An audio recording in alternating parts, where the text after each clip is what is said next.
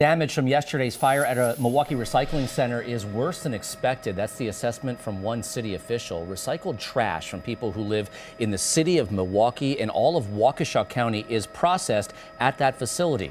12 News' Saria Sandlin is there live tonight. Saria officials are scrambling to find alternatives.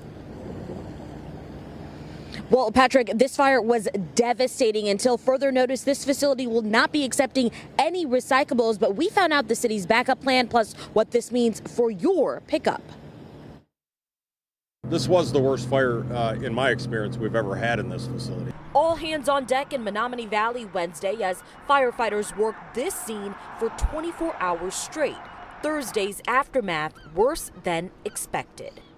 It is a little more severe than we initially had anticipated or hoped.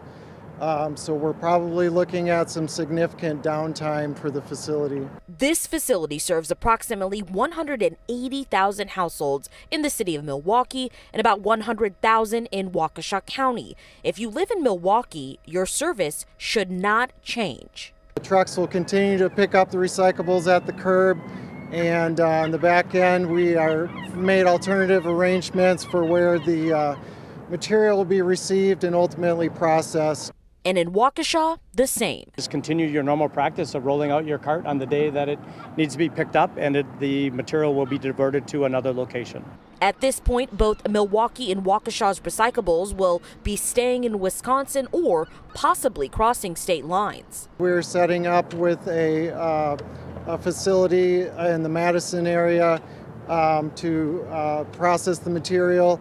Uh, we're also in discussions with other facilities, um, Chicago area. And while the fire's impact will be felt for the foreseeable future, these situations are always planned for. Waukesha County has contingency plans, much like the city of Milwaukee, where it might be a mechanical breakdown at our facility, or in this case, a fire. We may have to incur a little bit of overtime. We might be uh, you know, running slightly longer days or behind schedule, but service should go on un, un, uh, uninterrupted for the residents.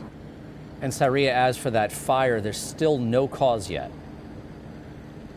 No cause yet, Patrick. The investigation is well underway, but officials say this is really why it's so important to make sure you are checking your community's list of what you can and cannot recycle. Saria Sandlin reporting live in Milwaukee tonight.